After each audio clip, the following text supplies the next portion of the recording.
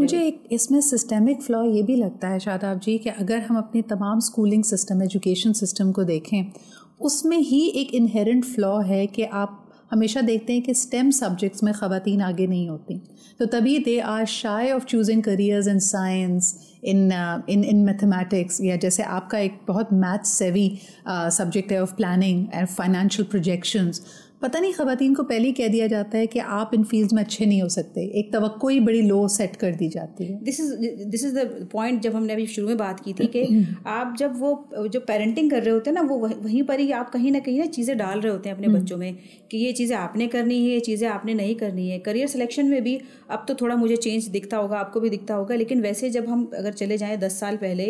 या अभी भी काफ़ी हद तक के ख़वान अगर चाहेंगी कि मैं, मुझे ये करियर लेना है या फॉर एग्ज़ाम्पल मुझे एयरफोर्स में ही जाना है तो अच्छा तुम कैसे जाओगी, तुम ये करोगी, बहुत सारी ऐसी आपको दस जो है वो नेगेटिव चीज़ें आपके सामने लेकर आ जाते हैं, आपके अपने ही लोग बनस्बत इसके कि वो आपको मोटिवेट करें और कहें, ये yes you can also opt this career आप इसको जा सकते हैं इस पर